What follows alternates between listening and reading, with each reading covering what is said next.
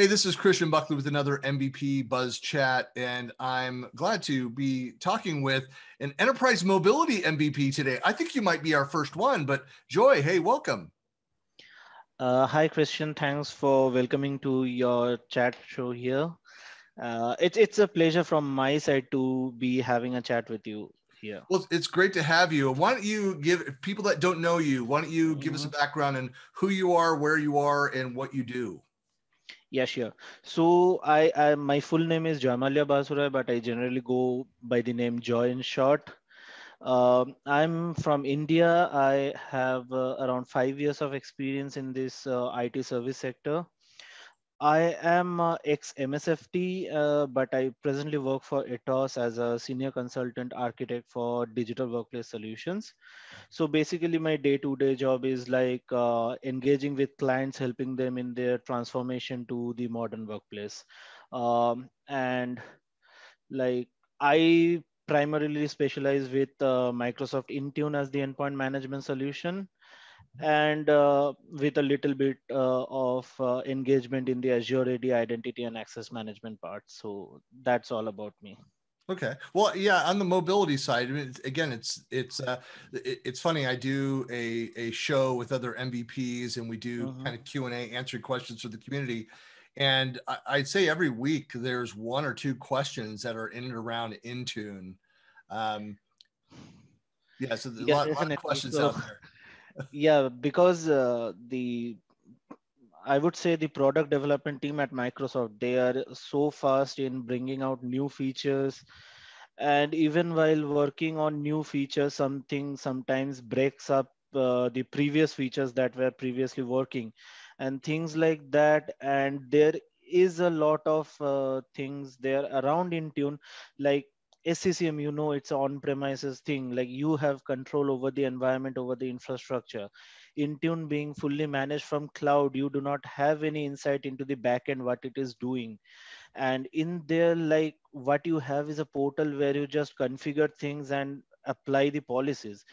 But what I generally feel is like, uh, it's good to have a knowledge of the portal like how you configure the policies but it's also equally important to know that how those policies are actually getting delivered to the endpoints and how it is actually working in order to like have a clear understanding of how the product is working uh, otherwise like this type of questions. And and these are like general like uh, to be honest these questions are not invalid or something like that. These are genuine questions which comes up like sometimes like bitlocker is not uh, working. I have deployed endpoint encryption protection policies from intune but it is not working but then uh, at the end of the day what have you done from the troubleshooting steps? Have you checked the bitlocker api right. events and things like that? So these are the things that many people are not aware of like where to look for and what to look for which basically i try to help with my blogs and the engagements that i do. So that's an important point uh, because a lot of people i know when the, the a lot of the shift from on-prem solutions to the cloud was happening a lot of IT pros that were concerned about what's happening to my job and is this you know is this all just this this knowledge and all the training and all my experience? You know was it all for nothing now? It, this these third parties these cloud vendors that own that activity. But to your point you need to have people that understand how those services are actually running.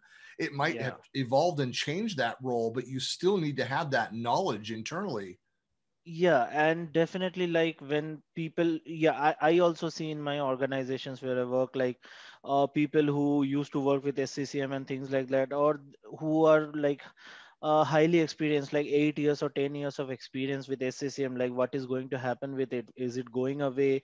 Will intune take uh, its place and then i have to learn intune? Uh, well sccm is not going away. Sccm is here to stay and it will be there but uh, at the same time like if you are comfortable with sccm you have been working with that then intune is also a same product from the microsoft that is aimed to help you get a better modern workplace uh, experience mm-hmm. so like uh, I, I believe it's fair enough if you can invest some amount of time in learning it rather than pushing it away like it's a new tool. Uh, why do I need to learn it? Right. Well, I, I think it also helps for for organizations. Kind of go back to an earlier comment you made about you know adjusting to the to the cloud and how you know different it is and, and the volume of features because we're mm-hmm. experiencing mm-hmm. that across every workload uh, you know coming out of Microsoft you know, especially in the the modern workplace side of things, which mm. is encompasses kind of all of Microsoft 365 and all of the uh, you know the site products. Stack, yeah. But with all of that is to, uh, I think people are again a, a, little bit biased. We work in technology, and so we're we're a little more mm-hmm. uh, uh you know kind of in tune with uh, uh, you know not trying to use the product name, but we're we're uh, uh, we're up to date on, uh, on on the software development lifecycle, and when we mm-hmm. see new features that are released, and we get excited about it. Um, but just to to to almost kind of uh, you know take a, a, a, kind of a steady approach to that, to be aware that hey, there needs to be time for you know bugs to be figured out, that there, there could be uh, to your point, depending on how a feature is being rolled out. In fact, we see this example over and over again. You hear about a feature that's gone generally available GA, and yet it's not yet on your tenant, or there's something on your tenant, but you're getting weird behavior that other people are not experiencing. Um, because it might be acting in combination with other features, other products that mm-hmm. are on your tenant that are not on somebody else's tenant. So mm-hmm. that whole idea of like we're getting innovation rapidly but needs to be tempered with this i think the reality of hey but then it takes time for these things to uh, to to be uh, uh you know that that dog food experience i know microsoft yeah. is a both both of us former employees so that yeah. phrase of dog fooding our own dog food and then yeah, canary. Our, our, own technology, our own yeah, is, yeah. is great. But there's only so many scenarios you're able to flesh out, and it's inevitable. Well, that greatly reduces the number of bugs and issues um, that that the general populace experiences. That's why Microsoft does rings. They do that internal dog yeah. food. Then they do that fast ring for companies that fast say, "Give us the raw, the you know the latest version," and understanding that we're gonna discover a whole new batch of bugs and issues and provide that feedback back to Microsoft. Well, definitely true. Like uh, because we are both ex uh, MSFTs, uh, we all know that MSIT or MSFT is the largest customer of Microsoft for its cloud products. So Microsoft has got a fantastic uh, amount of volume or a people to test on before they actually releases it, and and they actually plan the releases very well like uh, even if a new feature is rolling out it, it will not roll out to all the tenants worldwide at the same time. It, it's in a phased manner and that is why we see that okay uh, february week of 18 there is some new feature releases. So it's not there in my tenant as well because it's still under the roll uh, rollout plan so things like that it happens and that is why you have the insider preview tenants and all those things where you can actually go out and check out earlier than before it makes the availability in the normal tenants there. Yep. And and uh, obviously like say for example it, it is not like uh, say today there is a policy that is not working which is not uh, uh, well i will say it's not a configuration issue it's not an endpoint issue or a device specific issue but it's a issue of microsoft service. Does not means that the entire intune service in whole worldwide will have that issue. It can be a tenant specific issues and we have seen that where there are some bugs related to that particular tenant which uh, the backend team fixes out. So things things like that. This, this happens in the cloud side and yeah. Yeah I, I, and it's just something that you need to again set your expectations your your IT organization. It may change where some of the you know the ownership of the the, the platform you know lives but um, to be clear on what are the SLAs that your organization has in place understand enough about the service to have a better idea of what's happening. And so as you get that information back from Microsoft of what might be happening in your tenant that you can relate back to your end users um, something better than uh, yeah definitely. goes and, well with customers no yeah it, it, it it never works well in the service industry you know like uh, today if i am going to raise a ticket with microsoft premier support then i would want a fast resolution. But being on that side also i know that we have to go through the process we have to collect the logs we have to diagnose those because you come and tell me today that hi i'm facing this issue um, i may not have a quick solution to give to you but maybe uh, some some of the issues will have a solution some of the issues may not because those requires a deeper analysis and diagnosis of what is happening because say for today if i am uh, I, I speak to you as a microsoft support now uh, from the past experience so if, even like if, if i have to troubleshoot an issue of yours in your environment i need to have some prior knowledge of your environment because without that then I, won't be able to help you up and and getting those details from the other side is sometimes a pain because also there are a lot of stakeholders that you need to involve in the calls because not everything is under your control or you would as an admin like even if i am i talk as an admin i may not have access to the conditional access portal because that is a feature of identity and access management right. but if the microsoft support person asks me then i have to get someone from the identity team involved in the call we have to schedule another and this is how the delay goes on. But obviously at the end of the day everyone is just trying to do their job and get it fixed. Right. but it's it's the patience that you need to show uh, when a problem comes up because there is a great team out there which is there to help out. And even like most of the times uh, you can just when, when events like us like when we face issues uh, before reaching out to support or anything else we would be first going out and checking out the community. Uh, like uh, if, if there is already something mentioned in there or if someone has already worked on some things so that I, I get some notes on there or things like that. So there is a great bunch of people out there who are ready to help uh, if you know how to get the help.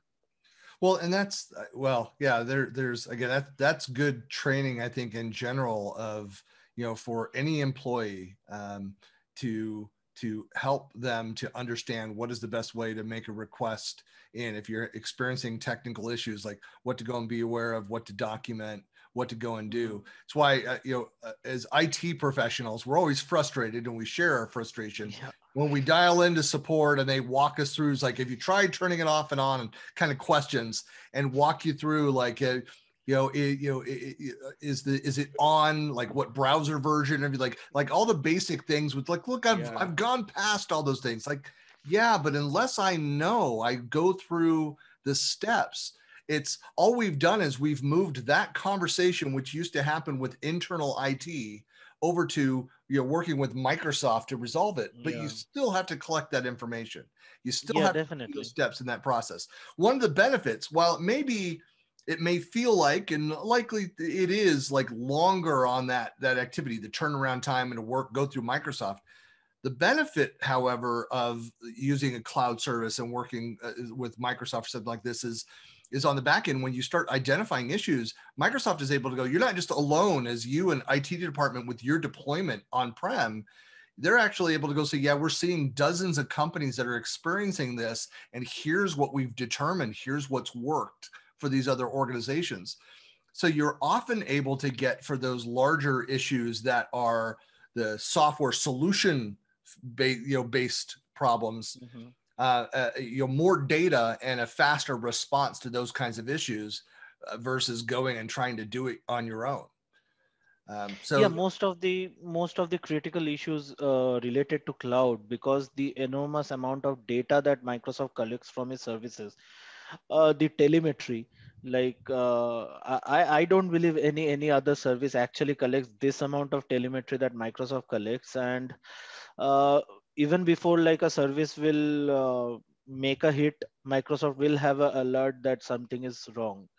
Uh, and that is why there are like uh, you get those uh, service uh, health checkups in the portals where you say that uh, something is going for a periodic maintenance or something is going down uh, then the team is working on there but still yeah even after that there may be tenant specific issues but then those those uh, uh, say if I if I say a tenant specific issue, it does not mean that it is specific to the tenant. It is specific to the scale unit or the MSU.